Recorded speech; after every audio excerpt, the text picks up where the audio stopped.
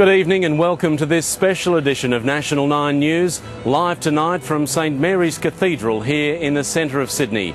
Super Thursday was the biggest day of World Youth Day celebrations and it's been an exciting and action-packed one for the Pope, the leader of the Catholic Church.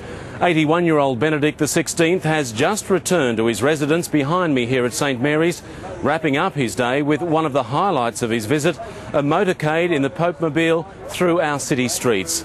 This was the best chance for most Sydney-siders to get close to the Pope and hundreds of thousands lined the route of the papal motorcade.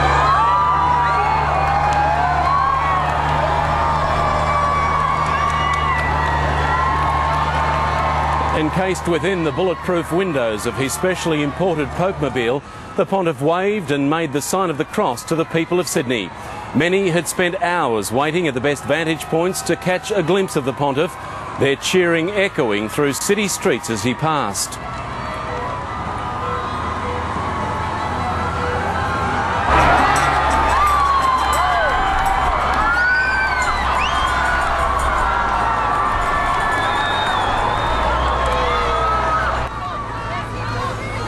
The roar of the crowd grew even louder as the Pope entered Farm Cove and the Domain, areas specially set aside for World Youth Day pilgrims.